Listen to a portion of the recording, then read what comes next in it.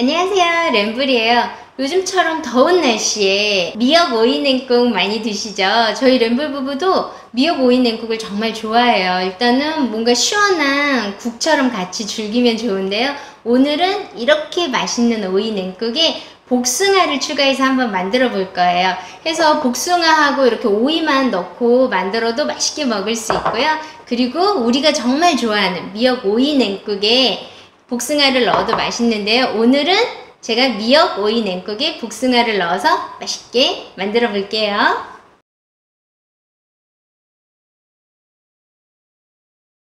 끓는 물에 미역을 넣고 1분 동안 데쳐줄 거예요.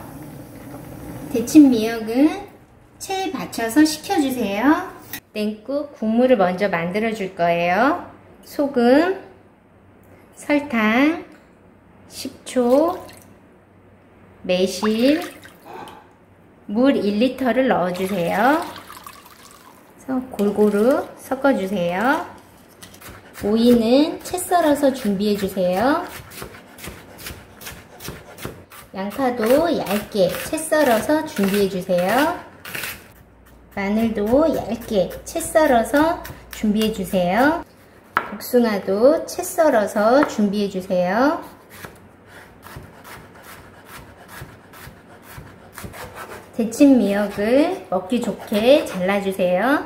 미역을 데쳐서 오이 냉국에 넣어야 미역 특유의 비린내도 나지 않고 더 보들보들 부드럽고 맛있게 즐길 수 있어요.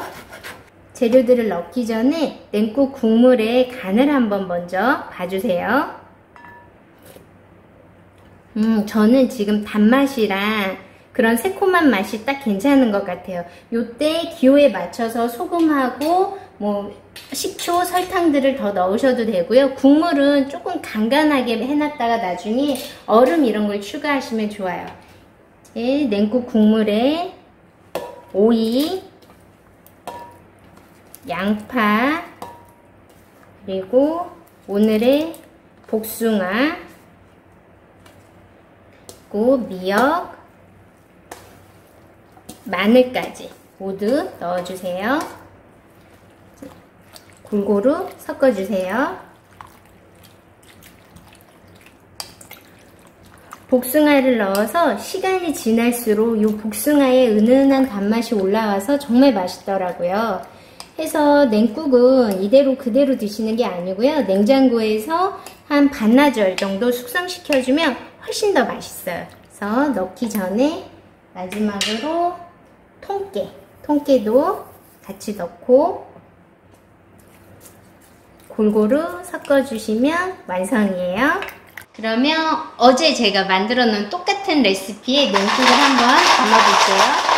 우리 또 오이 냉국은 얼음이 좀 동동 있어야 또 제맛이잖아요. 그거 하고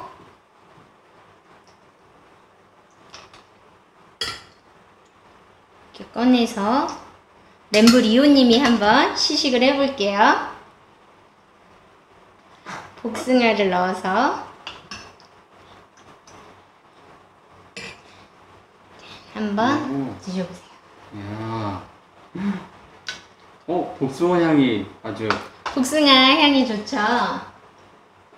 아 시원하죠? 야. 여기에 조금 음. 더 이렇게 소금 간이나 간을 좀 해서 면 같은 걸 말아 드셔도 되게 좋고요. 음. 얘는 이제 오늘 만들어 놨던 거고 얘는 지금 냉국 레시피는 똑같아요. 냉국 음. 레시피는 똑같은데 여기에는 오이하고 천도복숭아만 넣었고요. 얘는 조금 더 이렇게 상큼하게 즐기시고 싶다면 요대로 드시면 좋고요. 지금 램브리오님 드시고 계시는 냉국에는 오이 그리고 미역 그리고 양파, 다진 마늘, 매실 이런 걸로 만든 어때요? 제가 저희 시어머님 냉국이 정말 맛있는 거예요. 그래서 제가 어떻게 그렇게 맛있게 음. 만들 수 있냐고 했더니 어, 신기한 게 네. 과하게 달지도 않은데 그 은은하게 단맛이 굉장히 많이 나요. 그 그리고- 단맛이 그리고 복숭아의 향이 고급지게 나요. 그쵸. 음. 복숭아이 좀 전에 우리 램브리오님 얘기하신 것처럼 그 단맛이 은은한 단맛이 좋은 이유가 그 비법이 바로 매실이고요.